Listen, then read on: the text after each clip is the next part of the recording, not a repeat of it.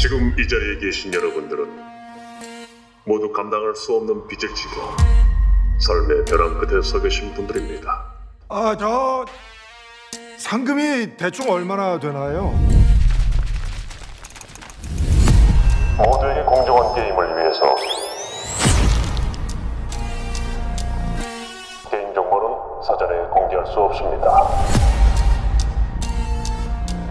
게임에 참가를 원하지 않는 분은 주시길 바랍니다.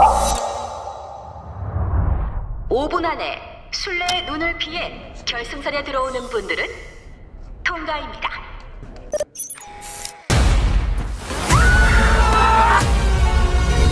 이건 게임일 뿐입니다. 게임의 규칙만 잘 지키면 약속된 상금과 함께 무사히 이곳을 나가실 수 있습니다. 참가자는 게임을 임의로 중단할 수 없다.